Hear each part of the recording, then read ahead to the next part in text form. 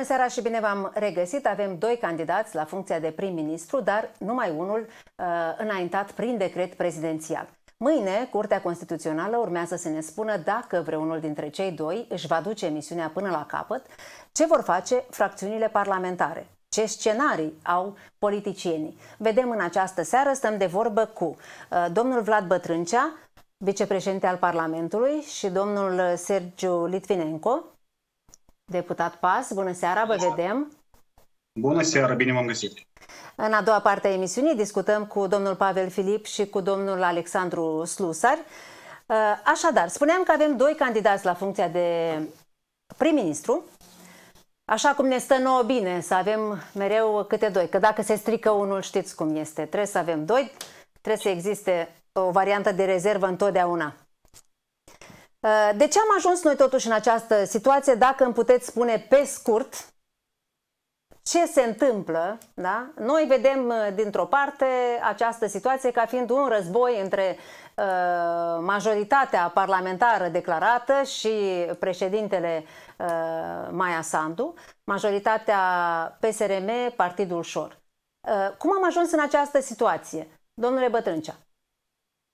Da, bine seara, vă mulțumesc. Deci, uitați-vă, noi azi dimineața am, am lansat această majoritate, nu am înaintat candidatul și am chemat-o pe doamna președinte la, la discuții, la consultări, așa cum prevede hotărârea Curții Constituționale. Am făcut un drept răspuns la înaintarea domnului Grosu, de aceea că Curtea a decis, așa prevede procedură, că urma să convenim împreună asupra candidatului. În cadrul consultărilor care le-am avut la președinție, noi am discutat acest lucru, am evidențiat că nu trebuie înaintat candidat din, nici din partea doamnei președinte, nici din partea noastră. Și doi, nimeni în aceste discuții cu Parlamentul, nimeni din Parlament nu l-a înaintat pe domnul Grosu. De aceea apariția acestui candidat, înaintarea lui de către doamna președinte, iarăși ne pune în gardă în blocaj instituțional, de aceea că am vorbit foarte deschis în cadrul acestor consultări, că nu este bine dacă ca doamna președinte să înainteze candidat fără Parlament. Am discutat că dacă eventual ajungem la anticipate, cum putem, ce pași putem întreprinde. Dar am zis ca un gest de bună voință, da, atunci când nu este un candidat agreat de comun acord, nimeni să nu înainteze acest candidat. Doamna președinte l-a înaintat pe domnul Grosu, după care noi am venit cu candidatul nostru ca să revenim la o discuție, la o de, la niște consultări veritabile, așa cum propune Curtea Constituțională. Așa. Domnule Litvinenko, care este poziția dumneavoastră? Au avut loc aceste consultări sau nu. Uh, trebuia sau nu doamna Sandu să se întâlnească la ora 12 cu Partidul Socialiștilor, așa cum au cerut uh, astăzi în Parlament. Până la urmă, cum am ajuns în această situație? În primul rând, la momentul de față există un singur candidat. Uh, candidatul la funcția de prim-ministru este domnul Igor Grosu, care a fost desemnat prin decret prezidențial. Doi, acest decret prezidențial este în totalitate conform prevederilor Constituției, dar și jurisprudenței Curții Constituționale, uh, pentru că în cadrul consultărilor sau la finalul consultărilor, doamna președinte a constatat că nu există o majoritate absolută care să susțină un candidat, ori candidatul s-a retras, a declarat public că se retrage, respectiv acea majoritate formată în jurul acestui candidat nu mai exista, respectiv uh, a aplicat prevederile uh, Constituției și a jurisprudenței Curții Constituționale. Uh, legat de ce s-a întâmplat astăzi, a fost pentru noi cumva neclar ceea ce s-a întâmplat la început. Uh, și am impresia că nu toată lumea a înțeles până la urmă, pentru că nu a fost, uh, înțeleg eu, inițial, la ora 10, socialiștii au afirmat că uh, constituie o majoritate cu partidul Șor fără a menționa un nume, au chemat-o cumva pe doamna președinte la uh, consultări, deși conform prevederilor constituționale, președintele Uh, consultă fracțiunile parlamentare atunci când nu există un candidat sau este necesar de a desemna un candidat la funcția de prim-ministru. Ori aici s-a întâmplat, uh, s-a întâmplat invers și am văzut uh, ceea ce a spus administrația prezidențială. A spus că consultări în sensul în care a solicitat da, Partidul Socialist deja au avut loc. sunt posibili la, după epuizarea da. efectelor da. acelui decret prezidențial prin care domnul Igor Grosu a fost uh, nominalizat în calitate de candidat la Adică după ce se trece prin Parlament, da? Acum, uh, domnule Bătrâncea, uh, de fapt, dumneavoastră v-ați adresat curții, dar ce considerați că nu este în regulă? Adică, care e problema pe care ați precizat-o? În primul rând, aceste argumente, da, colegului Litvinenko, că totul este perfect constituțional, noi am ascultat și atunci când doamna președintele a înaintat repetat pe doamna Gavriliță și ulterior Curtea Constituțională a decis că acea, acel decret, acea hotărâre a doamnei a fost neconstituțional de aceea că Parlamentul nu a fost, nu a fost consultat. Logica Constituției Republicii Moldova este un echilibru între puteri și un dialog între președinție și Parlament atunci când este vorba de înaintarea unui guvern. Unui guvern. Păcat că după consultări care noi le-am avut destul de deschise, destul de productive, când am vorbit că nu trebuie să niciun candidat, trebuie să discutăm un foaie de parcurs, și am găsit, de fapt, o deschidere din partea doamnei președinte, prin surprindere, a fost înaintată candidatura domnului Grosu. Doamnă președinte, cu toată, chiar și cu toată susținerea, da, în urma ultimei campanii, nu poate înainta doar membrii și colegii de partid. Acest lucru nu este, la sigur nu este corect. Doi, Curtea Constituțională a subliniat că dialogul trebuie să fie unul veritabil autentic, nu mimarea dialogului, nu mimarea consultărilor. Dacă în cadrul consultărilor, ceea ce, ceea ce noi am convenit, noi urmează să pregătim o foaie de parcurs, cum depășim situația de criză, când petrecem alegerile. Și am propus, doamne președinte, haideți, nu, haideți Parlamentul să nu opreseze pe președinție prin înaintare și haideți președinția să nu înainteze candidatul până ce noi nu avem ceva stabilit între președinte și Parlament. De aceea, uh-huh. pentru noi a fost un pic de neplăcut, în primul rând s-a lovit un dialog, dar noi am muncit asupra acestui dialog Doi, noi am avut în cadrul întrevederii noastre, consultărilor, noi am avut rezultate palpabile. Noi am găsit unele soluții la unele probleme actuale. Și mie, mie mi-a părut că discuția a fost una utilă, inclusiv între liderii da, partidelor PAS, PSRM, între domnul Dodon, doamna Sandu. Așa, rău asta, că, da, da. iertați-mă că vă întrerup. Despre asta tot voiam să vă întreb, pentru că noi am aflat de la domnul Slusar, dintr-o postare pe Facebook, că au avut loc mai multe runde de discuții între Igor Dodon și Maia Sandu. Și vă rog să ne spuneți dacă este așa și ce știți despre aceste discuții. Doamna Bogza, eu chiar nu aș vrea să-l comentez pe domnul Sluser, să dau aprecieri. Nu, au avut sau nu runde de, nu, de iată, negocieri? Iată eu despre asta și spun. Iată eu despre asta și spun. Poziția noastră a celor din PSRM a fost în perioada acestor discuții în Parlament, că cei doi lideri trebuie să aibă o comunicare, că ei au fost contracandidați. Unul a, a obținut susținerea peste 900, altul peste 700 de mii de cetățeni. Este bine că ei cel puțin să comunice, ca să asigure un echilibru da, în această situație. De aceea eu consider că acest dialog și această comunicare trebuie necesară. Că ei, ca lideri politici, eu cred că ei au capacitatea să discute și ei trebuie să discute. Și au discutat. Asta nu, doar, doar o clipă. Asta nicicum nu, nu arată pe cineva într-o lumină proastă. Doamna președinte are și obligație constituțională să aibă comunicare cu toată lumea. Noi dorim această comunicare, că noi oricum înțelegem că sunt două partide cele mai mari și ca să asigurăm echilibru în societate, ca să, facem, ca să facem acest guvern interimar funcțional, trebuie să întreprindem eforturi comune, ca să aducem vaccină, ca să imunizăm populația, trebuie să fie eforturi comune. Și mie îmi pare că discuția în acest sens a fost productivă. Și dacă este vorba să mai fie întrevedere între cei doi uh, lideri foști contra candidați, eu cred că în interesul public, în interesul național, în interesul depășirii crizei, acest dialog trebuie să fie. Așa. Și chiar și dacă acest dialog nu, nu mereu va fi unul momentan rezultativ, el este necesar la ziua de astăzi pentru Republica Moldova. Noi trebuie să asigurăm echilibru între instituțiile statului și noi trebuie să asigurăm și un echilibru constituțional. Domnule Bătrâncea, da. Am da, înțeles. Acum, eu vreau este interpretarea Constituției. Imediat, imediat, domnule Litvinenko, vă rog.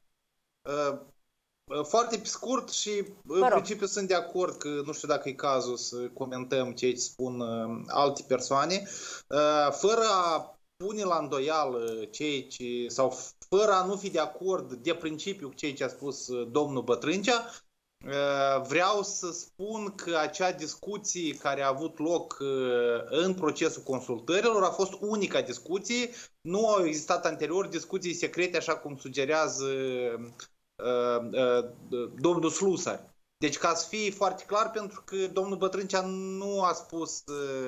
Această bine, discuție a avut loc... Nu adevăr, dar cumva a lăsat loc de speculații și cred că nu este bine, trebuie să uh, spunem uh, uh, lucrurilor pe nume și bine, sigur că asta nu înseamnă că pe viitor nu ar putea să fie discuții, dar trebuie să fim totuși sinceri și spunem lucrurile așa cum stau în realitate. Deci, în Domn... procesul consultărilor Domnul a avut loc prima discuție între Igor Dodon Discuție și separată doamna... sau în cadrul acestor discuții, public, discuții cu toată fracțiunea?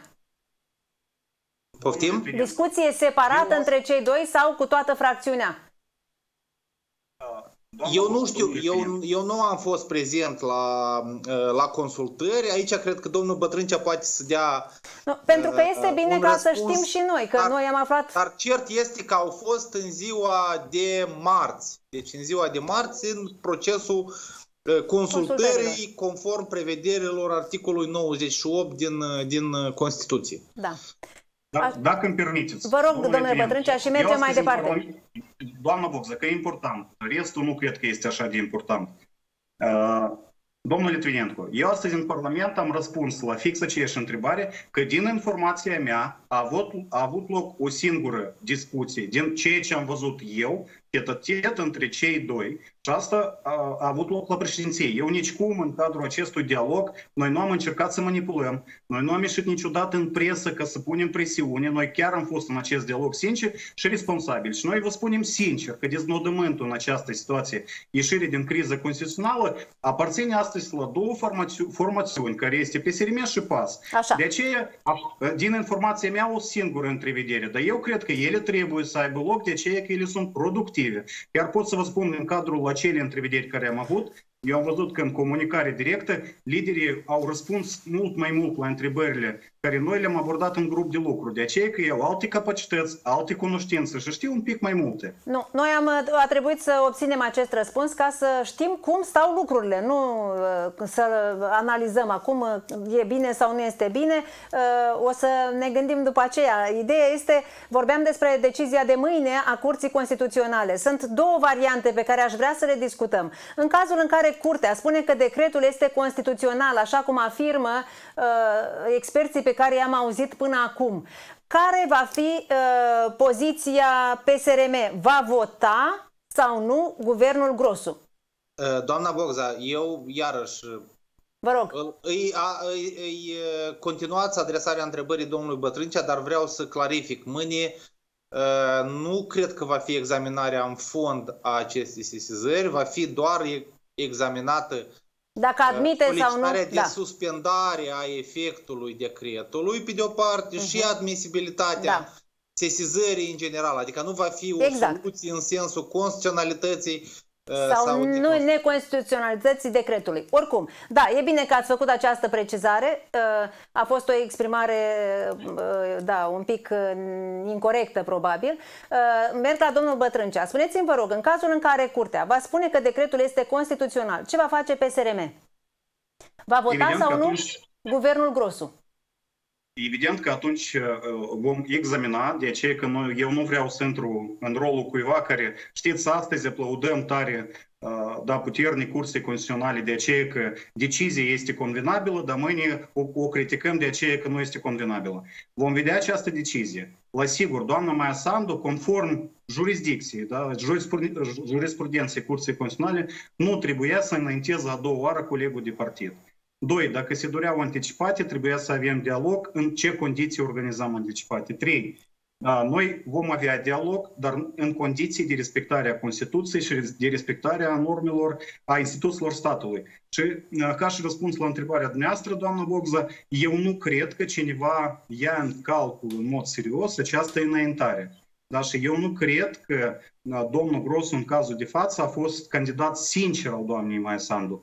La sigur sunt alte, alte jocuri, alte chestii, dar dacă scopul este a doua tentative eșuate, dacă scopul este anticipate. Noi acest lucru am discutat. Noi putem discuta într-un termen adecvat, la sigur, nu Da. în luna iunie. Nu mi-ați A, răspuns la noi să- întrebare, pentru că întrebarea era următoarea. Votează PSRM guvernul Grosu sau se declanșează anticipatele în cazul în care curtea spune că decretul este constituțional? Uh, Eu nu văd uh, cum PSRM o să-l voteze pe domnul Grosu atunci când noi, ca și răspuns, firesc, l-am înaintat pe domnul Golovatiu, care este un profesionist desăvârșit, cu reputație reproșabilă și care este un manager bun anticriză. Dar bine, acestea iară sunt niște jocuri de poziționare. Da? Uh, Noi înțelegem foarte bine că domnul Grosu nu va fi susținut de PSRM și cel mai probabil el nici nu va fi susținut de cei din PAS. Asta este Acum alt să scop, vedem da. ce spune domnul uh, Litvinenko. Va fi sau nu susținut de PAS? Domnule Litvinenko, cum va vota uh, Partidul Acțiune și Solidaritate în cazul în care curtea va spune că decretul este constituțional? Deci cum va vota PAS, uh, va, vom decide la momentul potrivit, uh, consultând uh, forurile corespunzătoare, dar cert este că Igor Grosu este un candidat foarte bun. Sunt sigur că va veni un, cu un program uh, foarte serios, astfel încât să rezolve de urgent cele mai mari probleme care există astăzi în uh, Republica Moldova. Uh, și sunt sigur că va avea și o echipă pe potriva realizării celor deziderate pe care le va propune în programul de uh, guvernare. Da, nu mi-ați răspuns nici dumneavoastră la întrebare, pentru că Păi, se păi, merge, doamnă se merge pe Boca, același scenariu uh, pe care l-am văzut anterior sau de data aceasta uh, se, va, se dorește cu adevărat uh, instalarea unui guvern uh, care să se ocupe de uh, criza economică și cea pandemică. Evident că noi vom examina în cadrul partidului și vom lua, vom lua o decizie. Nu excludem nici una din ipoteze. Adică ați putea veni iar cu varianta nu mă votați sau nu votați guvernul Grosu?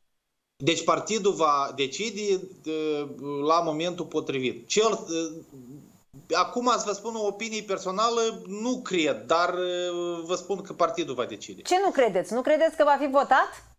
Eh, Nu pas? cred că uh, partidul va lua o decizie în sensul nevotării. Dar iarăși, asta este Am înțeles. opțiunea mea personală și partidul va decide la momentul potrivit. Așa, uh, mă întorc la domnul Bătrâncea. Uh, Domnul Bătrâncea nici dumnealui nu a spus, pentru că Nu, eu am spus că cel mai probabil nu, e că domnul, nu cred că domnul Grosu va fi votat de PSRM. Păi chiar nu știu dacă- cum să formulez. chiar în cazul în care curtea va decide că decretul este constituțional și domnul Grosu este candidat plenipotențiar, corect, de, uh, propus, și atunci dumneavoastră ce alegeți? Anticipatele?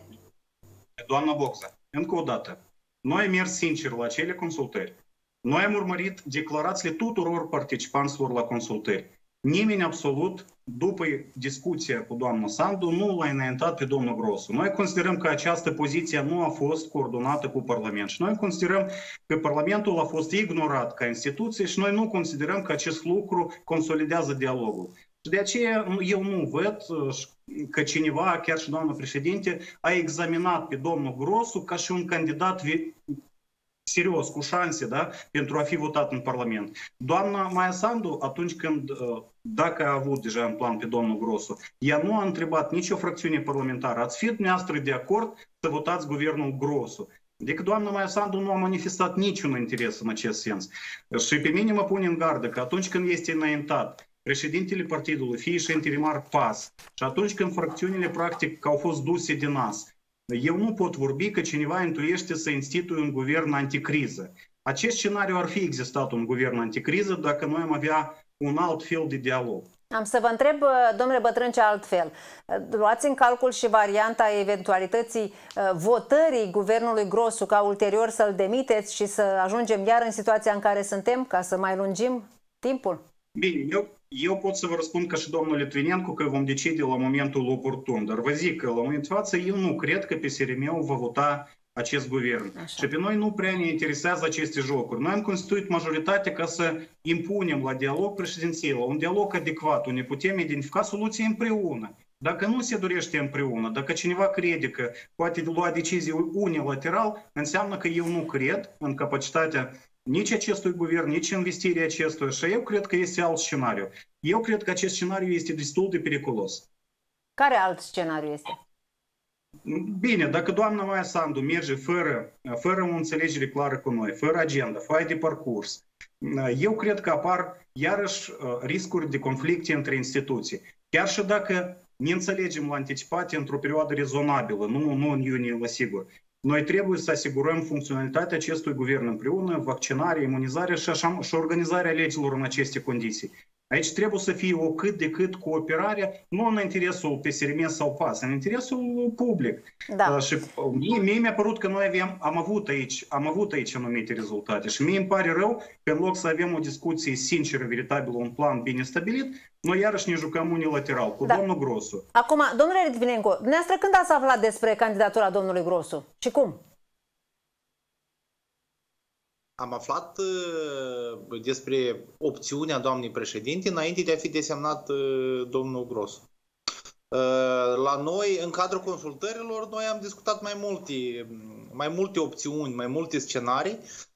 În cadrul consultării PAS cu doamna președinte, dialogul, eu, dacă sincer, nu văd un impediment de a avea un dialog în Parlament pentru a găsi, evident, soluții, în primul rând, cu referire la situația gravă din sistemul sanitar, economie, dar în același timp să discutăm și despre declanșarea alegerilor parlamentare, deci eu nu văd impedimente. În același timp, așa cum văd eu, eu lucrurile, deci opțiunea doamnei președinte este una serioasă. Am văzut că domnul Grosu a declarat astăzi că lucrează la programul de guvernare, da. urmează să aibă discuții cu fracțiunile parlamentare în sensul solicitării sprijinului. Adică eu nu cred că vorbim de o chestiune care nu este serioasă și nu este analizată opțiunea instalării da, unui guvern. de Igor Grosu. Deci, Așa, dar, dar spuneți-mi, ați aflat înainte ca doamna Maia Sandu să anunțe public. Cum? În ce? De la cine? Cum ați aflat? Adică s-a discutat asta? Doamna, doamna, doamna, deci în primul rând eu am fost la acele consultări, da. vă spun că a, a existat uh, mai multe scenarii și mai multe opțiuni uh, care au fost puse cumva unul după, unul după altul, uh, după care doamna Sandu l-a contactat pe domnul Grosu și eu eram lângă el și respectiv cumva am am uh, aflat lucrul ăsta. Dar până la urmă, dacă este ne referim... De păi de atunci doamna Sandu a vorbit cu domnul Grosu sau discutase de, din timp? Dumnealui, dumnealui tot atunci a aflat sau știa despre intenția deci, doamnei Sandu? Doamna Bogza, uh, ca să fie foarte clar, în cadrul consultărilor cu doamna președinte s-au examinat mai multe scenarii, inclusiv acest scenariu. Ca să, ca să fie foarte clar. Uh, după ce s-au finalizat consultările, după ce s-au finalizat consultările, după ce a fost uh, uh, finalizat consultările cu fracțiunea, cu Partidul Socialiștilor, atunci doamna Sandu l-a contactat pe domnul Grosu și ulterior deja a emis decretul de desemnare a dumnealui la funcția de prim-ministru a guvernului. Dar iarăși să revin, sigur că în, în ideal și noi suntem gata să uh, discutăm în continuare despre acele măsuri pe care trebuie să le convenim uh, împreună și de ce doar noi în doi, poate fi un consens mai larg în Parlament, sigur, cu excepția da. unor formațiuni politice. Deci noi suntem gata să, să discutăm uh, toate opțiunile posibile, dar Uh, în același timp, așa cum văd eu lucrurile, programul, uh, uh, guvernul Grosu sau, mă rog, da. echipa pe care o va propune domnul Grosu va veni Noi... cu niște măsuri foarte urgente. Despre, despre ce se va întâmpla, discutăm e... imediat după pauză și să-l auzim și pe domnul Bătrâncea ulterior. De, imediat după publicitate, continuăm discuția noastră. Publicitate. Continuăm emisiunea. Uh, rămăsesem uh, la o, eram cu domnul Litvinenco. Domnule Litvinenco, un singur lucru încă vreau să vă întreb vis-a-vis -vis de guvern. Ați mai discutat cu domnul Grosu după ce a fost desemnat? Uh, vine cu același cabinet cu care a venit doamna Gavriliță? Vă regăsiți în componența viitorului cabinet, nu? Evident că am mai discutat, dar uh, eu cred că lucrurile astea trebuie să le comunice domnul Grosu la momentul potrivit. Uh-huh. Dar uh, în ce vă privește, a fost vreo întrebare? V-a nu întrebat? Cred că există la momentul de față o decizie, o decizie finală. Eu cred că lucrurile mai pot schimba. Domnul Grosu cred că va avea discuții cu fracțiunile parlamentare, cu marea majoritate a fracțiunilor parlamentare vederea identificării sprijinului și eu cred că anumite idei pe care dumnealui le are la momentul de față s-ar putea să fie schimbate urmarea acestor discuții. Da, uh, am înțeles. Totuși nu mi-ați spus, vă regăsiți în... Uh, adică v-a întrebat? Dacă voi răspunde într-un fel sau altul, lucrul ăsta va fi cumva deja interpretabil și oamenii da. face... Nu de vorbim despre... Cred, vorbim despre dumneavoastră. Exact așa ca și uh, în cazul cabinetului doamnei Gavriliță, eu cred că e corect ca candidatul să vină cu lista uh, ministrilor pe care îi propune și nu cred că e bine ca altcineva să da. vină și să da. transmită această informație Eh, mai ales că data trecută am impresia că a fost eh, cumva informația, a apărut în presă până în momentul în care Natalia a făcut, eh, a făcut nominalizările sau a făcut propunerile. Da, bine, noi vorbeam despre dumneavoastră și din ceea ce îmi spuneți, eu cred că am dedus corect că a existat o discuție. Așteptăm să vedem de la domnul Grosu dacă dar asta am dedus. Uh, acum să vedem încă un pic, uh, mai vreau încă un pic să ne oprim asupra contextului în care s-a întâmplat toată această situație. Uh, până în momentul în care încă erau consultări, Partidul Socialiștilor avea un candidat. Ea se numește Mariana Durleșteanu. Uh, apropo, cu dumnei am discutat astăzi și am sperat că va accepta invitația de a vorbi cu noi în această seară. Din păcate, în urmă cu două ore a spus că nu reușește, dar sperăm că uh, va fi dispusă altă dată pentru că sunt foarte multe întrebări la care așteptăm răspunsuri. Ei bine, în timp ce se desfășurau negocierile cu Partidul Socialiștilor, Mariana Durleșteanu a anunțat pe Facebook că se retrage și retrage candidatura, nu mai vrea să fie candidat, nici Igor Dodon n-a știut despre asta, el încă s-a dus la negocieri spunând că Mariana Durleșteanu este candidatul PSRM, când a ieșit de acolo a aflat de la presă că ea s-a retras. Domnule Bătrâncea, dumneavoastră ați spus că ea a fost uh, uh, constrânsă să renunțe. Atât din da, interior da. cât și din exterior. Ați mai spus că asupra ei, deci cu, cu ea a lucrat, uh, au lucrat anumite misiuni diplomatice și organizații internaționale. Vreau să vă rog să deschideți parantezele, să înțelegem și noi la ce v-ați referit. Despre ce Doamna Bogdan, dar dacă îmi permit scurt să comentez ceea ce a discutat dumneavoastră destul de lung și mult despre un eventual guvern. Da, nu mai mult ca dumneavoastră, noi... dar mă rog, ascultăm, vă rog. și mie să formulez ceva, doamna vă Bogdan. Rog. Așa cu dragoste, cu atenție, îl ascultați pe domnul Litvinencu, dar de mine nu mă feriți pe Uitați-vă, încă o dată. Nici doamna Sandu nu a examinat dacă analizăm comportamentul și linia ei, că domnul Grosu va fi un prim-ministru. În discuția cu doamna președinte, ea nu ne-a zis foarte clar că ea nu vede un guvern în circunstanțele existente. Nu vede și punctul. Și noi am vorbit despre consolidarea deja guvernului existent în demisie care trebuie să activeze și în aceste condiții. De ce eu înțeleg pe domnul Litvinenko că el trebuie să justifice poziția colegilor. Dar, la sigur, nici doamna Maia Sandu nu examinează serios. Dacă ea nu, vor, vor, nu a discutat nici cu o fracțiune, haideți să susțineți că el este bun. Dacă ea nu a nominalizat pe domnul Grosu în rezultatul consultărilor, chiar și dacă Mariana Duleșteanu sub presiuni s-a retras, asta nu presupune că uh, obligația doamnei Sandu de a întreba fracțiunile, dar dumneavoastră îl vedeți pe domnul Grosu pe care eu îl văd. Acest lucru nu a avut loc, de aceea opinia noastră este că aceste, acest dialog, aceste consultări au fost sfidate și nu a existat în consultate cu uh, hotărârea cursei dialog autentic. Da. Ce simte doamna Plășteanu? Evident, politician, chiar și dacă eu nu sunt foarte bun politician, dar pot să vă zic că uh, eu, evident, nu este bine că să atace corpul diplomatic, ambasadorii și așa mai departe. Dar noi știm ce lucru, ce activitate s-a dus în raport cu doamna Dureșteanu. Ce anume? Campanie... Spuneți-ne și nouă. Asta, asta încerc să auzi, să o spun. în primul rând, în afară de campanii mediatică care au fost, în afară de mii de mesaje, chestii, cu doamna, doamna a fost contactată. Evident că eu nu pot și nu sunt în poziție să vă zic acum de cine a fost contactată. Dar dumneavoastră aveți capacitate de analiză și dumneavoastră, doamna Bogza, ca jurnalist și spectatorii. Atunci când noi suntem la consultări cu doamna Sandu, socialiștii, discutăm scenariu, foaie de parcurs, în acel moment parcă cineva a apăsat butonul și la doamna Abdurășteanu a apărut acel mesaj – după stilistică, după ortografie, asta o, spus, o zis jurnaliștii, da? Că nu, asta a spus domnul mesaj, Candu.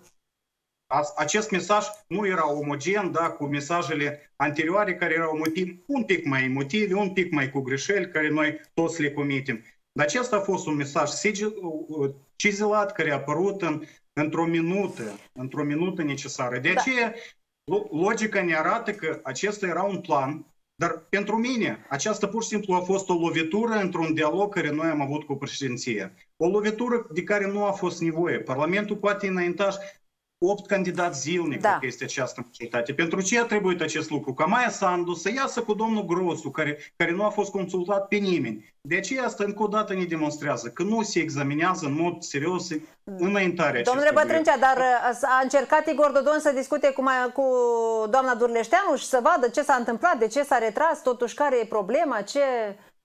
Cine a făcut doamna, presiuni, dacă a făcut? Doamna Bogdan a fost o comunicare pe parcursul acestui timp, când doamna Durleșteanu a spus că, a spus că într-adevăr sunt tentative, sunt influențe ca doamna să se retragă. În ziua deja când acest lucru s-a produs, din ceea ce înțeleg eu, deja nu mai era sens de discutat cu dânsă, nu știu ce a discutat domnul Dodon și dacă a discutat, că această pagină pentru noi deja este închisă, care se numește Mariana Durleșteanu. Ne pare rău că noi, lupta noastră politică, da, nu aducem în Parlament sau un dialog între instituții, dar pur și simplu poate de apăsat butonul și un candidat se retrage la ora potrivită. Acest lucru la sigur nu consolidează dialogul.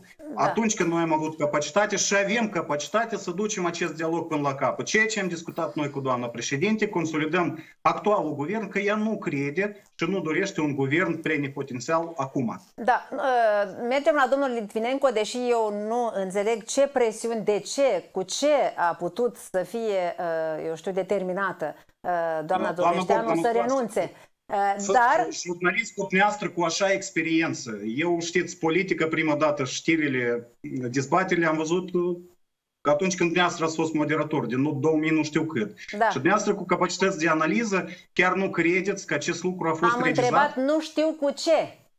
Adică, care a fost uh, cu, uh, motivul pentru, nu motivul, dar uh, cu, în, nu știu de ce a putut să fie determinată doamna Durleșteanu să renunțe?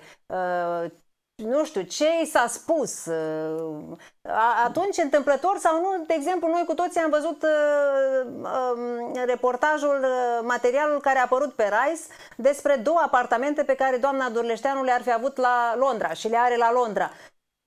Da, este... Deci, doamna Boța. Vă rog. Asta tot este parte a acestei situații. De ce apare Rice după asta retragerea?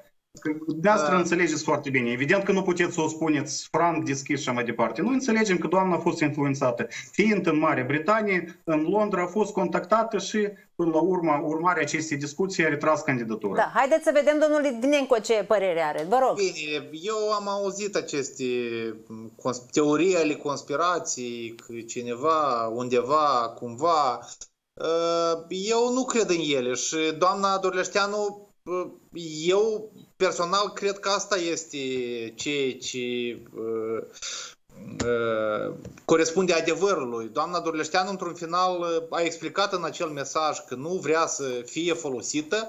Uh, cumva, și aici probabil partidul, nu știu dacă neapărat domnul Bătrâncea, dar cei care au discutat și au propus această nominalizare, ar trebui să, să-și dea seama că nu este bine să-i spui uh, că face o majoritate cu alte formațiuni politice și la urmă să ajungi să constitui această majoritate parlamentară absolută cu Partidul Șor, despre care doamna Durleșteanu a spus astăzi și mai tranșant că Da, nu știa. Pokémon mai i-a multe numit. personaje din, din acest partid figurează în raportul Crol și ar trebui să răspundă pentru, pentru aceste lucruri. Uh, Eu nu cred că doamna președinte a știut despre, despre această uh, decizie sau eu intuiesc că doamna președinte de asemenea a aflat de această uh, decizia doamnei Durleșteanu după ce s-au finalizat consult chiar cred că după ce s-au finalizat consultările, nici nu cred că în momentul în care erau acele consultări. Da. Uh, De, dar uh, asta ca să vorbesc despre această uh, Nu vă- conspirație nu vă care, supărați. care se vorbește. Stimate coleg, Eu, stimate coleg Letonencu, nu vă Vlad, supărați. Și la doamnă mine Bogdan, sunt- nu, noi cred că chiar sunt suntem așa da. de naivi și noi, noi ducem o discuție naivă și nouă ne pare că spectatorii toți sunt așa de naivi ca să înțelegem că acesta nu a fost un joc regizat. Nu, haideți mai male. Noi mergem la invitația doamnei președinte la discuție. Uh, În finalul acestei discuții doamna Durlășteanu se retrage și imediat după aceasta doamna președinte înaintează pe domnul Igor Grosu, colegul de partid. Și noi credem, noi chiar suntem așa de naivi și facem oamenii naivi că acest lucru nu a fost regizat de cineva. Da, și el s-a întâmplat de la sine. Atunci când am vorbit de Plahotniuc, noi spuneam că Plahotniuc face presiuni, că el este și așa mai departe. Noi credeam în această fabulă. Atunci când se comite în raport cu socialiștii, noi nu credem în această fabulă. Doamna Durlășteanu, pe parcursul acestei perioade de timp, comunica zilnic cu domnul Dodon, cu doamna Greceană, a fost ministru în componența guvernului Greceană, au avut mereu relații foarte corecte. Și din, din punctul de vedere nostru, comportamentul a doamnei Durleșteanu, această ieșire cu un mesaj necaracteristic, nu în stilul ei, acest lucru nu este corect nici din partea Durleș, Marianei Durleșteanu, dar nu este corect, corect nici în raport cu Mariana Durleșteanu, care chiar nu ne-a comunicat că în această perioadă este presată. Așa. Uh, Da, dacă Mariana Durleșteanu ar fi acceptat să intre cu noi în direct, poate că am fi aflat niște răspunsuri despre ce presiuni, ce s-a întâmplat, cu ce a putut să fie, uh, eu știu, convinsă să nu, să nu mai uh, candideze, așa cum uh, spuneți dumneavoastră, domnule Bătrâncea. Până la Ea, urmă... apropo, a fost, ea, apropo, a fost foarte sigură. Ea chiar în mod cel mai serios a examinat ce poate face, ce proiecte, ce, ce bani să aducă. Ea a fost foarte bine motivată să fie prim-ministru. Ea chiar a Totuși- crezut în această totuși oportunitate au și apărut pentru... Au apărut Și niște ea- mesaje și- pe și mai pagina mult că- domniei sale uh, de Ea a Facebook. considerat că parame- pa- parametrele ei, așa cum ea arată, de unde vine, cu experiența ei, cu background-ul ei, ea chiar a crezut că va fi acceptată de doamna Maia Sandu. Da, Că a fost ea naivă sau nu a fost naivă, asta e altă istorie, dar ea în mod cel mai serios se pregătea de, de acel mandat de prim-ministru. Bine, ea a avut niște mesaje de genul un nou început și așa mai departe, mesaje care, într-un fel, acum citite uh, din perspectiva zilei de astăzi, poate că ne-a dat cumva de înțeles că spre asta se merge. Uh, nu putem, mă rog, presupunem. Astăzi vreau doar atât uh, la finalul uh, intervenției dumneavoastră, pentru că iar am depășit și mai avem încă doi invitați în partea a doua și nu vreau să îi las să mai aștepte mult. Uh, Nu pot să nu uh, vorbesc despre decizia uh, curții uh, prin care legea miliardului a fost declarată neconstituțională, iar o lege votată noaptea de PSRM și Șor. Domnule Bătrâncea. Legea aceasta nu a fost votată noapte. Legea, anularea acestei legi a fost promisă de PSRM, de PAS, de toți participanți în campania electorală din 2019. De aceea că această lege pune presiune pe bugetul public și oamenii trebuie să întoarcă prin impozitele miliardele furate. Noi cu toții, când am fost în campanie electorală, am promis acest lucru. Și toți ne-am bătut în, cu pumnul în piept că noi nu vom permite ca cetățenii să achite acești bani. Uh-huh. Și atunci când Dar- socialiștii o votează, atunci când socialiștii o vote- votează această lege, o clipă, cineva o atacă la curte. Cât Da. de bine sunt, cât de sinceri sunt acești oameni. Trebuia să, să o spună alegătorilor în 2019 oameni buni, noi devenim deputați, președinți de țară și noi nu vom anula legea Domnule miliardului, Bătrâncea. de aceea că nu putem. De acord, de acord, dar de n-ar fi aceea fost... nouă ne pare, nou, nouă ne pare rău. Eu încă pot înțelege când cineva critică funcționarele imbilor, chestii, dar atunci când vorbim de legea miliardelor, a, eu cel puțin nu pot înțelege aceste reacții dure. Da, la Dar adresa n-ar fi noastră fost a mai bine socialiștilor. ca, ca uh, procuratura și justiția să-și facă treaba în așa fel Doamnă- încât doamnă Boță, banii furați să noi fie cu colegii- recuperați? Noi cu colegii am protestat în fața guvernului de zeci de ori când se luau decizii secrete și când s-a votat legea miliardului, care a pus miliardele furate pe, pe, da. pe, pe umerii cetățenilor. Eu cred că este de bun simț pentru noi toți, chiar și dacă sunt riscuri, să asumăm această răspundere politică. Ori dacă noi nu o asumăm ca și răspundere politică, dar pentru ce să ne mai aflăm atunci în Parlament? Că să spunem da. oamenilor da. că Domnule nu putem Bătrâncea, să întreprindem nimic. Încă ultima întrebare, că deja trebuie să încheiem. Uh, ne-am uitat la uh, inițiativa PSRM-ului care a creat uh, dispute serioase cu privire la uh, crearea unui sistem electoral autonom în Găgăuzia, uh, un proiect despre care domnul Nantoi spune că este un pas spre federalizare și aș vrea să vă întreb care, deci din ce considerente e nevoie acum de această lege?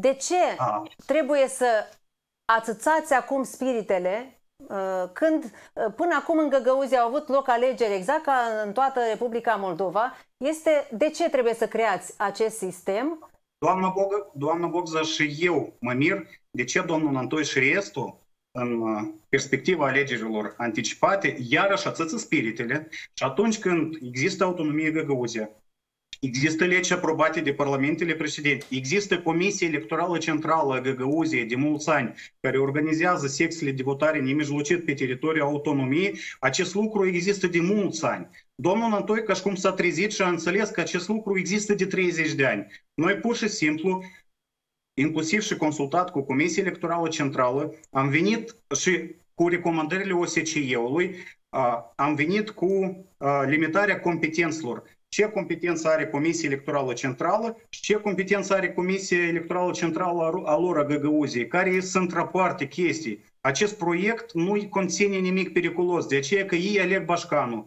ei aleg adunarea populară de 30 de ani. Acest lucru s-a făcut și uh, cum dumneavoastră vedeți că alegerile în adunarea populară a Găgăuziei să le petreacă Comisia Electorală Centrală de la Chișinău este păi, o dar până acum, acum au făcut. Domnul Nantoi tradițional lansează niște provocări în spațiu public și atunci când noi avem relații perfect de bune între Chișinău și Comrat, el provoacă anume această isterie. Ei iau da. comisia electorală, ei organizează legal, constituțional alegerile pe teritoriul Găgăuziei și lăsați-i în voie Domnului că îi să organizeze și mai departe alegerile Bașcanului. Da, uh, domnule Bătrâncea, noi să știți că vom uh, analiza acest proiect pentru că cu siguranță n-am reușit dar uh, odată ce a creat atâtea uh, discuții, înseamnă că merită toată atenția și trebuie să vedem de ce este nevoie de acest proiect. Până acum lucrurile s-au desfășurat în regulă și nu a fost nevoie de el, dar uh, trebuie să vedem și să studiem acest proiect. Noi vă mulțumim foarte mult pentru participare și vă și dorim o seară liniștită. Și de asemenea, aș vrea să-i mulțumesc uh, și domnului Litvinenko pentru participare. Uh, calculatorul dumnealui a cedat, din păcate, și nu putem să ne luăm la revedere, dar, uh, domnule Litvinenko, vă mulțumim foarte mult pentru participare la emisiunea de astăzi. Vă dorim o seară liniștită. După pauză ne vedem cu domnul Pavel Filip, lider al Partidului Democrat. Luăm publicitate. Am revenit, suntem acum în direct cu liderul Partidului Democrat, domnul Pavel Filip. Bună seara! Bună seara! Uh, am discutat mai devreme cu uh, reprezentanții PAS și PSRM despre situația care s-a creat, iar pe dumneavoastră aș vrut să vă întreb, uh, în primul rând, uh, la ce decizie vă așteptați din partea Curții Constituționale? Cum credeți că va arăta, eu știu, această decizie? Bine, acum toată lumea discută uh, despre lucrul ăsta. Din punctul meu de vedere, uh, Curtea nu va suspenda acțiunea decretului președintelui și cel mai probabil decretul va fi declarat uh, constituțional pentru că în momentul când a fost semnat nu a existat o majoritate care să fie înaintat un candidat. Așa. Uh, în cazul în care se va întâmpla acest lucru, care va fi poziția Partidului Democrat? Va vota guvernul Grosu sau va alege dizolvarea Parlamentului? Pentru că asta va fi uh, situația. Bine, în primul rând eu aș porni de la faptul că uh, eu sper că toată lumea este conștientă de ce se întâmplă.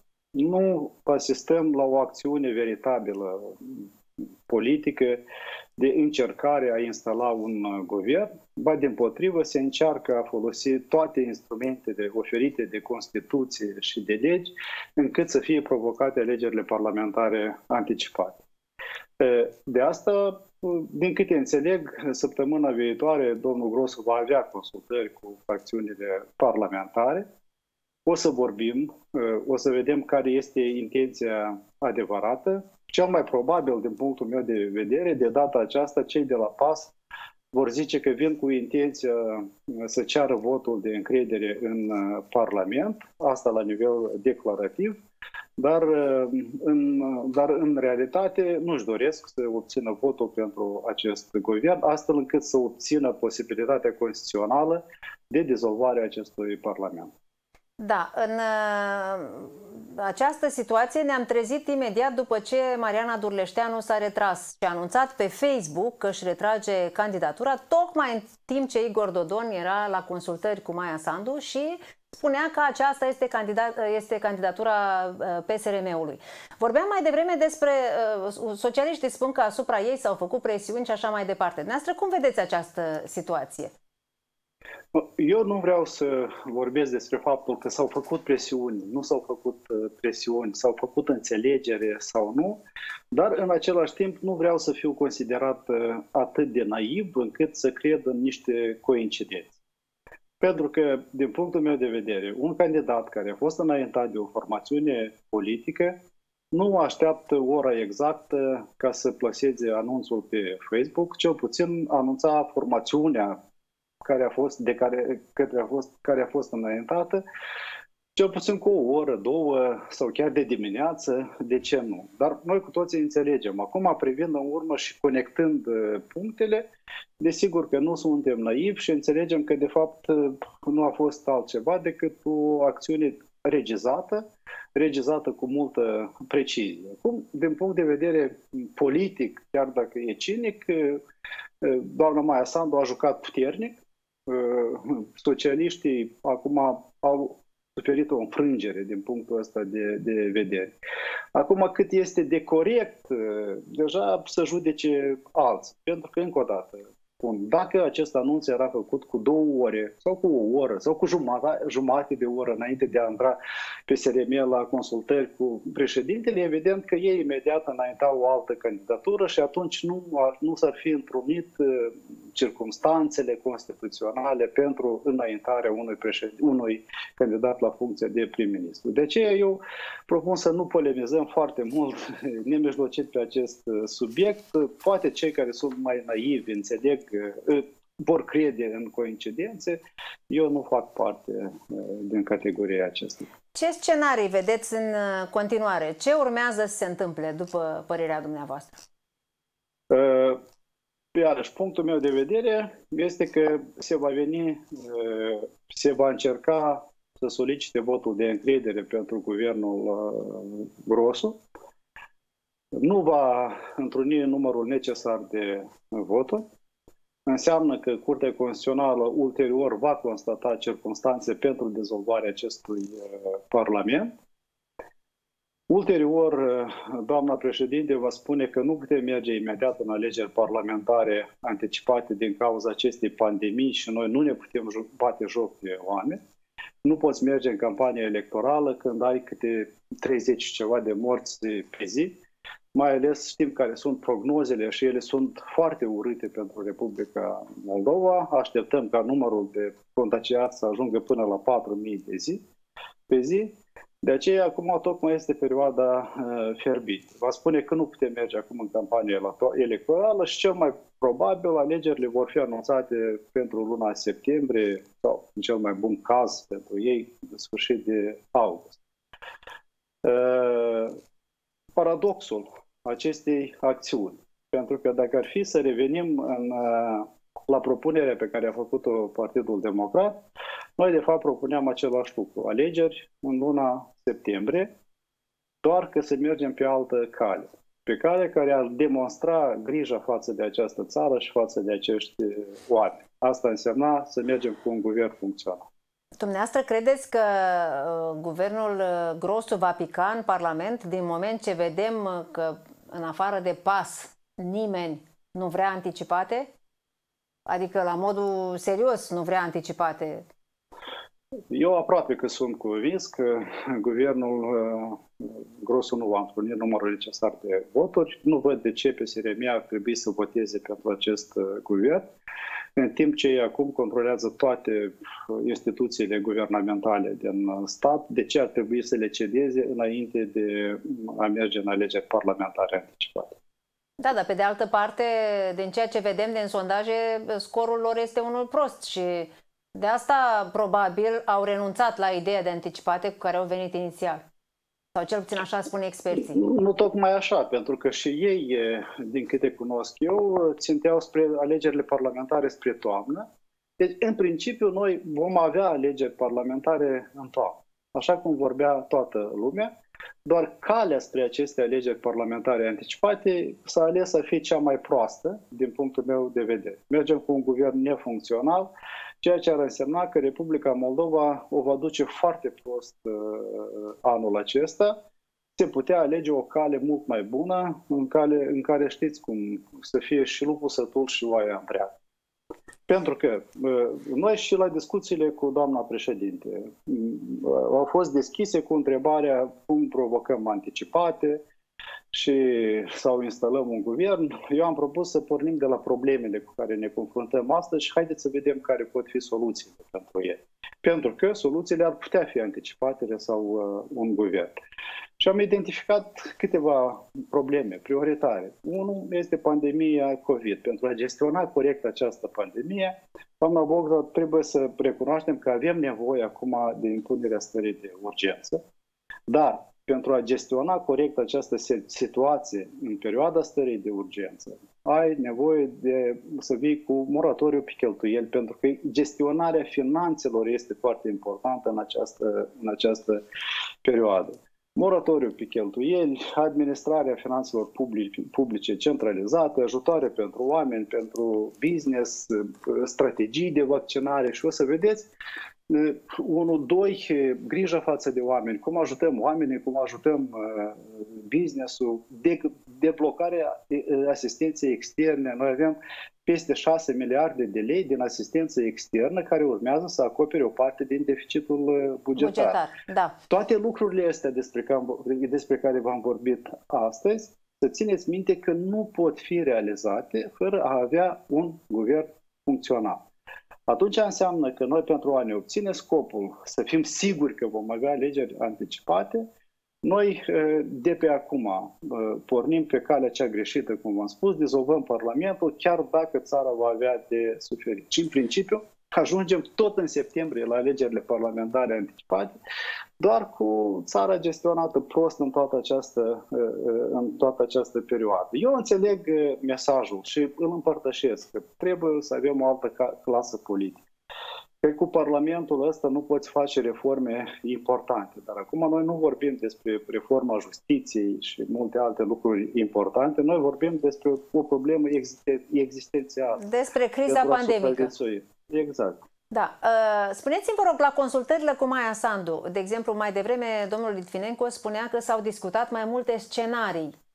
Uh, înțeleg că inclusiv o candidatură pentru funcția de prim-ministru, la consultările cu PAS, la consultările cu Partidul Democrat. Uh, s-a pus în discuție acest subiect?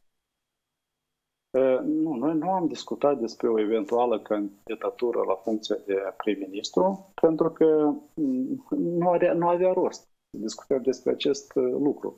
Nu pot spune carul înaintea boilor. Noi, de fapt, uh, am venit cu o întrebare către doamna președinte.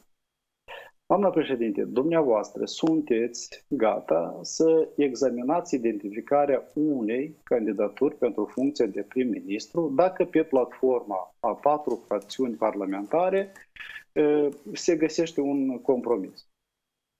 Iată, în jurul acestei întrebări, noi am purtat uh, discuțiile. Poziția doamnei președinte a fost că care sunt garanțiile că noi dizolvăm ulterior Parlamentul și ajungem în alegeri parlamentare anticipate.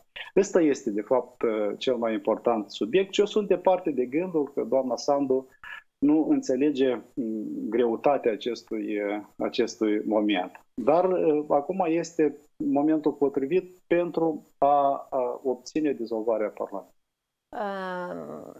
Astăzi s-a anunțat crearea majorității, de fapt vechea majoritate anunțată din nou ca o majoritate astăzi în Parlament. S-a încercat să se discute cu Partidul Democrat pentru a face parte din această majoritate, de această dată mă refer. Bine, am avut o discuție absolut, absolut superficială, deci, dar poziția noastră era de mult foarte clară. Că noi nu, nu, nu, nu, nu, nu, vom, nu ne vom acorda votul, sprijinul, spus semnătura într-un document unde sunt și cei de la șor. Dar cu, part, cu PAS, de exemplu, care, spuneați și dumneavoastră, uh, s-ar putea sau cel mai probabil de data aceasta va susține candidatura domnului Grosu. Uh, ar exista vreo soluție ca să discutați această variantă și să se mai găsească și alte voturi în Parlament? Uite, doamna Bogza, eu vă propun să fim absolut onești cu cei care ne, ne, ne priviți. Eu de... dacă, dacă... Doar de la premiza asta plec. Da.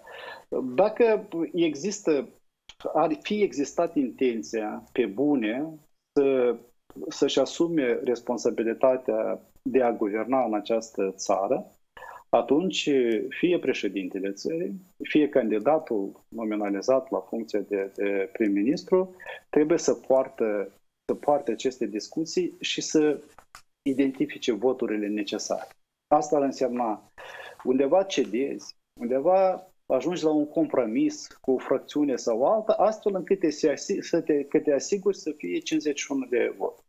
Dar când zici că eu vreau pe bune să obțin majoritatea voturilor, dar nu comunici cu nimeni, nu mergi nici la un compromis, nu iai în calcul nicio propunere, te sigur că intenția adevărată este a nu fi votat, astfel încât, încât să poți provoca dizolvarea Parlamentului. De aceea, pentru mine, această chestiune este una epuizată. Așa, am înțeles. Domnule Filip, vă mulțumim foarte mult pentru participare la emisiunea de astăzi. Sper că în principiu am înțeles uh, cam cum vor uh, evolua lucrurile. Cel puțin scenariul dumneavoastră l-am uh, înțeles, a fost foarte clar. În sfârșit am înțeles și eu ceva în această seară, că până acum a fost totul așa, poate că, cred că și așa mai departe. Vă mulțumim foarte mult și vă dorim o seară liniștită. Și eu vă mulțumesc. Și dați-mi voie ca să îl salut în acest moment uh, pe domnul Slusar, care este în legătură uh, cu noi. Uh, domnul Alexandru Slusar, vicepreședinte al Parlamentului, deputat Platforma Da. Bună seara! Bună seara! Ne cerem scuze că v-am lăsat ca mult să așteptați, ne-a fost altă, alta înțelegerea, dar uitați-vă că ne-am întins cam mult. Însă, abia am așteptat să vorbim cu dumneavoastră pentru că Uh, am citit uh, aseară, inclusiv din cauza asta, am văzut aseară mesajul pe care dumneavoastră l-ați postat pe Facebook și mi s-a părut un, uh, un mesaj uh, prin care v-ați exprimat profunda dezamăgire. Nu știu dacă profundă, dar uh, am scris ceea ce am gândit. Da. Eu prefer să spun anumite lucruri pe nume. Uh, din care ați spus că uh, nu ați văzut un politician mai corupt decât Igor Dodon și mai cinic decât Maia Sandu. Uh, de ce, ce anume v-a determinat ca să spuneți acest lucru? Despre Maia Sandu, de exemplu. Ce, ce? Nu despre Igor Dodon cred că nu este Nu, nu, nu, nu, vorbim despre Maia Sandu. E clar, da? Cu ceea ce s-a întâmplat ieri a fost uh, un teatru jucat și ar fi, dacă, dacă ar fi problema doar cu platforma, da, noi, noi asta am înțeles deja, atitudinea față de platforma, da. Dar a fost un teatru, din punctul meu de vedere, de, de prost gust și față de acest proces de, de consultări. Noi am avut mai multe, mai multe discuții pe platforma parlamentară cu Uh, colegii de la PAS și Partidul Democrat. La ultima sută de metri am avut două întâlniri în patru, inclusiv și cu Partidul Socialiștilor. Am venit cu un plan foarte bine uh, schițat, foarte bine, plan, foarte bine um, realizat din punctul nostru de vedere, posibil realizării. Ori am discutat această problemă cu mai multe opinii, mai multe întrebări, foarte, foarte minuțos, da? Cum vedeți alegerile anticipate, da când vedeți, da care, care modalitate, da cum ajungem, da matematica, dar iată că nu avem, avem probleme cu Partidul Socialiștilor, avem probleme cu Dodon, că nu avem încredere și într-adevăr acest risc există. Așa, dar dumneavoastră credeți că doamna Sandu în acel moment știa despre faptul că Mariana Durleșteanu se va retrage? Lorena, eu nu cunosc ce știa doamna Maia Sandu. Eu cunosc că după ce noi am avut acest schimb de, de, de opinii, uh-huh. așa cum a fost, cu viziuni diferite, dar cea mai mare problemă era că nu există încredere în socialiști și în Dodon și că e nevoie de consolidat acest guvern interimar, că acest guvern totuși este bun, au Ciocoi. Asta a fost poziția, poziția doamnei. Peste două ore noi vedem că vine Igor Nicolaevici la negocieri, discută, se înțelege despre ceva. Noi, noi am realizat că nu a fost prima întâlnire, discuția tet-a-tet, iese foarte bucuros Igor, Igor Nicolaevici și zice că a fost discuția productivă, că noi am stabilit bilateral niște lucruri. Deci, și la mine, desigur, imediat apare întrebarea. Deci, cea mai mare problemă în discuțiile noastre era neîncrederea în socialiști, dar iată aici vine Dodon și se discută cu același Dodon în care noi toți nu avem încredere și ceva, ceva, ceva se face. Nu știu ce era dacă nu s-ar, s-ar fi retras uh, doamna Dorleșteanu, care, care era întorsătura. Eu nu știu. Dar peste o oră încă este uh-huh. doamna Sandu și înaintează pe domnul Grosu a, a treia variantă, care, din câte eu am înțeles, copy-paste ia planul cu care a venit platforma, da? Și acum încearcă cumva să realizeze totul ce noi am, am încercat să discutăm trilateral, pe urmă parțial și cu socialiștii, doar că domnul Grosu acum vine de unul singur, fără că să consulte, fără că noi să fim măcar anunțați. Vine și spune că iată, iată, așa este scenariul. Desigur că noi, ok, S-a întâmplat acest lucru, s-a întâmplat. Noi am tras concluzie, problema că acum când ne sună activiștii noștri și ne întreabă de ce Igor Grosu, care va realiza pai de parcurs a platformei DA și nu platforma DA și nu Andrei Anastase, și dacă se urmărește alte scopuri în raport cu noi, foști parteneri de coaliție, eu nu prea am ce răspunde. Dar mă rog, asta e viața, mergem mai departe. Da, ă, la ce decizie a curții vă așteptați? Ce va spune eu, curtea? Eu nu știu care o să fie decizia curții. Niciodată n-am comunicat cu nimeni de acolo și dacă data trecută cumva au fost mai previzibil exact. verdict, la moment pentru mine nu este clar care ar fi această decizie. Noi trebuie să, pregăti, să fim pregătiți pentru, pentru orice scenariu mai, mai multe șanse, un pic mai multe șanse, mi se pare că, că decretul doamnei Sandu uh, urmează să fie recunoscut constituțional. Da, uh, și în acest caz, care va fi poziția platformei DA? Ce va face? Va vota guvernul Grosu sau va alege dizolvarea Parlamentului? Nu, putem, putem înțelegeți pe noi, după tot, tot ce s-a întâmplat, când este plagiat anul tău, când este făcut tot ce tu ai propus. Acum, iată, cineva încearcă să transpune. Eu azi chiar am ascultat uh, uh, prioritățile și am văzut această faie de parcurs. Desigur că gestul uh, a doamnei Sandu și colegilor de la PAS nu a, nu a adăugat încredere. Uh, dar, uh, iarăși, mult depinde de care ar fi poziția până la urmă. O să fie Gavrilița după 2 sau totuși acest guvern vine pe bune? Vedem care, care o să fie abordarea, în primul rând, colegilor de la PAS și vom lua colegial decizia în cadrul uh, organului de conducere a platformei DA. Așa, dar dizolvarea Parlamentului este o opțiune? Este una din opțiuni. Desigur, Am înțeles, dar este da. o opțiune luată în calcul de platforma DA, care, pe care o puteți Noi, noi de mult accepta? am luat în calcul această, această opțiune. Uh, În pofida tuturor speculațiilor uh, că noi nu dorim alegerile anticipate, noi uh, din start am spus că noi susținem această idee. Nu din motive că toți deputații sunt corupți. Eu categoric, cu vehemență, resping această um, politică de ne- denigrare. Noi 11 deputați de o platformă, dar nu suntem corupți, suntem productivi, nu avem niciun transfug. De ce pe mine cineva aruncă în aceeași oală, cum a fost uh, în cazul do- doamnei Gavriliță, cu șoriștii și cu, uh, cu cei de la Plohotniuc? Eu, noi nu avem nimic cu dânsi. Altă întrebare, că acest parlament trebuie să fie resetat, uh, întrucât a fost uh, ales în baza sistemului mixt și sunt mai multe probleme în cadrul acestui parlament. Noi susținem această idee. Dar deja pentru toți, inclusiv și pentru Maia Sandu și pentru cei de la PAS, este evident că imediat acum nu este posibil de declanșat acest proces. Până când noi nu stabilizăm situația pandemică, până când nu obținem un procent minimum de vaccinare a populației, alegerile nu pot fi pornite. Cum a spus și colegul nostru de la PAS, pe secret nu poți să faci campanie electorală.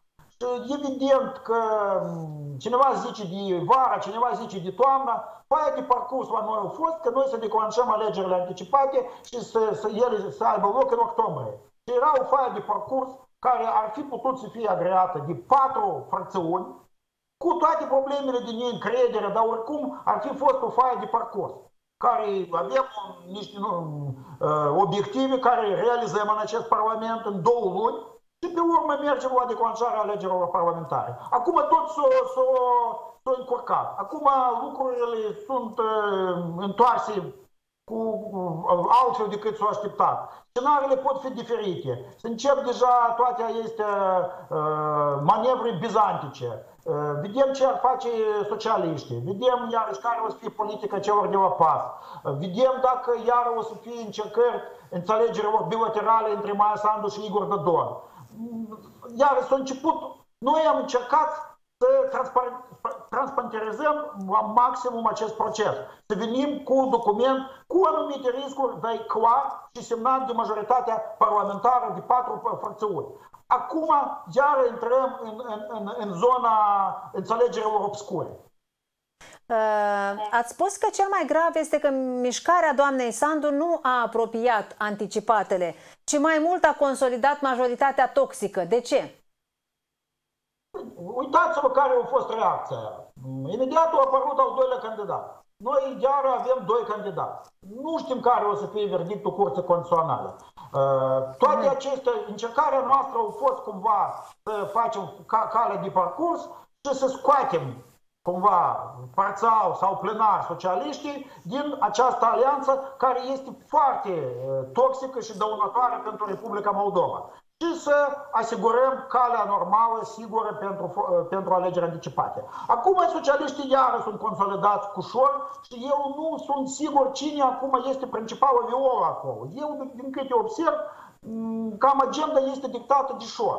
Și mai departe, această majoritate înaintează propriul candidat. Mai mult ca atât, iarăși, noi putem să așteptăm că dacă acolo există o idee fix că să nu fie alegerile anticipate, ele nu vor avea loc. Uh, Nici vară, nici toamnă. Dar dacă se votează guvernul grosul.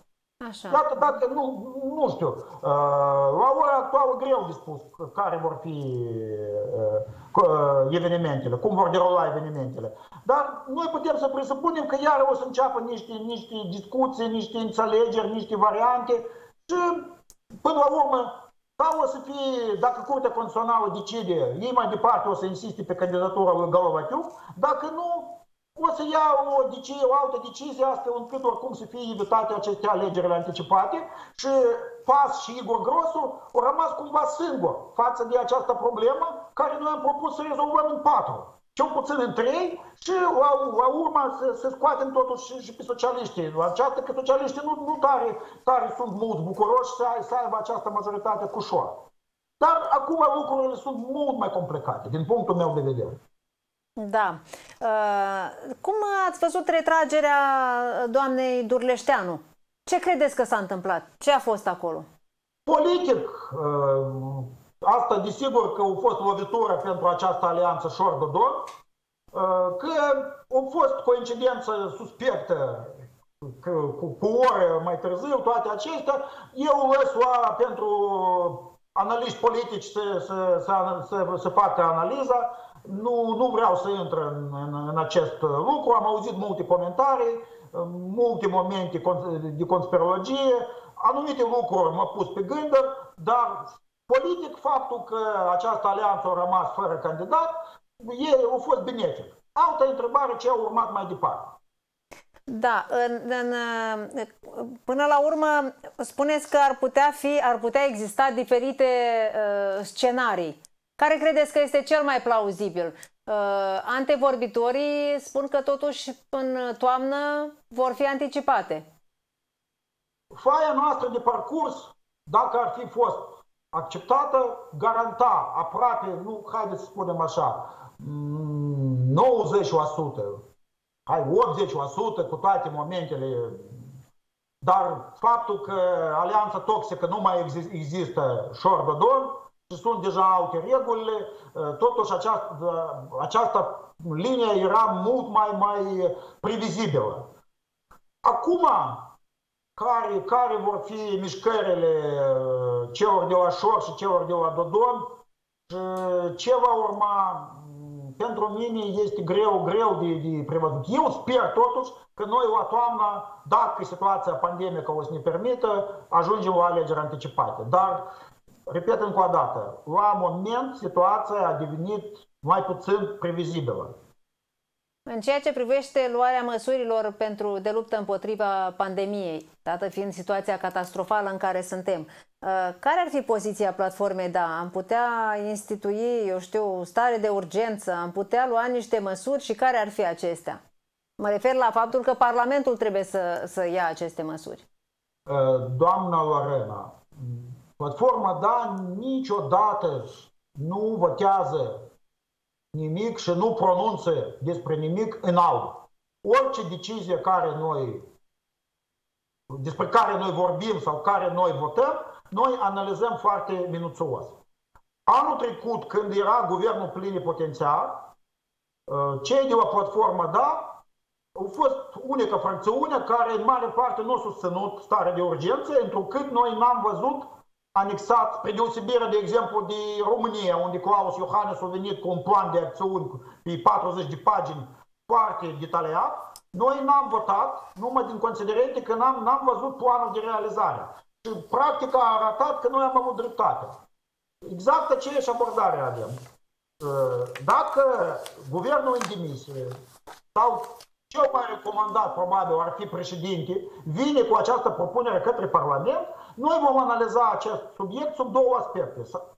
Aspectul medical, ce spun specialiștii în domeniul luptei cu pandemia și sub aspectul economic, întrucât noi deja suntem un an după pandemia și toate rezervele oamenilor și business-ului sunt epuizate și pe noi ne interesează cum vor fi compensate pierderile oamenilor în caz în care va fi introdus un lockdown dur. Pe două săptămâni, pe trei săptămâni, nu știu. Am văzut și eu acele pronosticuri sumbre pentru luna aprilie. Într-adevăr, situația este foarte gravă. Dar aici, iarăși, eu revin la întrebarea. Spuneți-mi, vă rog, dar cine va gestiona această criză și această stare de urgență? Guvernul lui Ciucoi? Uh, ministrul afacerilor interne Voicu? Cum rectificăm bugetul? Dacă găsim bani pentru compensare, dacă, dar noi nu, nu putem găsi bani dacă nu deblocăm uh, asistență externă. Și la mine apare întrebarea, dacă rămâne tot guvernul Ciucoi și mergem imediat în alegeri anticipate, rectificarea bugetului cine o să facă? Doamna Sandu, doamna Greceanu, conform Constituției, doar guvernul cu atribuțiile de pline poate să facă acest lucru. Adică noi intrăm în stare de urgență cu un guvern resuflat al lui Ciucoi încă și cu o variantă că o lună, două, trei, o să fie încălcată Constituția. Dacă noi vrem să găsim bani și să... Dar bugetul trebuie să fie recroit semnificativ. Și chiar și sub acest aspect, ne întoarcem la întrebare ce facem cu guvernul. Da. Uh, o ultimă întrebare. Să vă întreb dacă știți cumva despre inițiativa socialiștilor cu privire la crearea uh, uh, sistemului electoral pentru Găgăuzia. A fost această inițiativă astăzi în Parlament, însă am înțeles că toți deputații au părăsit sala, cu excepția socialiștilor, și a fost, era lipsă de quorum. Bine, alții încă. Mai sunt unii bolnavi care n-au fost la... Deci nu erau 51 de deputați în sală. Uh, ați văzut această inițiativă sau încă n-ați reușit să vă uitați pe ea? Cum, cum n-am reușit dacă azi această inițiativă a fost inclusă în ordine de zi? Da. Nu există niciun proiect uh, în ordine de zi, oricare deputație platforme da, să nu citească acest proiect înainte să fie, să fie supus votului. Minunat. Sigur. Și, și noi am avut atitudine foarte tranșantă. În general, uh, lucrurile ce țin de autonomie găgăuză, uh, noi suntem mai mult decât rezervați. Și nu doar din considerente politice, și nu doar din considerente că noi categoric nu susținem ideea federalizării, dar ceea ce se întâmplă în Găgăuzie acum, tot mai multe și mai multe tendințe spre federalizare. Și această inițiativă fie și aparent nu așa de importantă că se schimbă niște denumiri acolo, oricum ține din acest lanț. Și eu azi am depus întrebarea e nu doar politică, dar economică. Puneți-mi, vă rog, iată noi avem această autonomie cu 100 ceva de mii de populație, care are posibilitatea că toate impozitele, accizul și tăva să rămână exact. în unitate, mai are și transferuri din bugetul de stat, toate investițiile, atragerea investițiilor, fonduri europene, alături este raionul Cimișlie și raionul Cahu. Raionul Cahu, după populație mai mare, și acolo toate impozitele merg în centru. Și în toate celelalte raioane merg. Și în Chișinău, și în Bălți. Exact. Și, dar statutul la toate, la toate aceste uh, unități administrative teritoriale, același, nivelul 2. Și eu azi am întrebat, dar dacă mâine vine Bălțul, care, iată, noi 2 ani nu putem statutul municipiului Bălți să promovăm în Parlament. Deci încercăm să facem acest lucru. Dar dacă municipiul Chișinău tot o să vrea uh, Comisia Electorală Specială Aspect, care este diferența? Eu sunt pentru autonomie găgăuză sub aspectul păstrării specificul etnică-cultural. Limba, tradițiile, nu am nimic împotriva. Dar mai departe ceea ce se întâmplă, avem multe, multe întrebări vis-a-vis -vis de perspectivă. Dar platforma, da, niciodată. Noi ieșim în stradă, noi ieșim cu, cu, cu cine vreți. Dar noi niciodată n-ați admitem federalizarea țării. Da, am înțeles. Vă mulțumesc foarte mult, domnule Slusar, pentru intervenție. Vă doresc o seară liniștită. Mulțumim foarte mult. Doamnelor și domnilor, vă mulțumim și dumneavoastră că ne-ați urmărit și ne vedem uh, joia viitoare. Vă doresc o săptămână liniștită și aveți grijă de dumneavoastră și de cei dragi.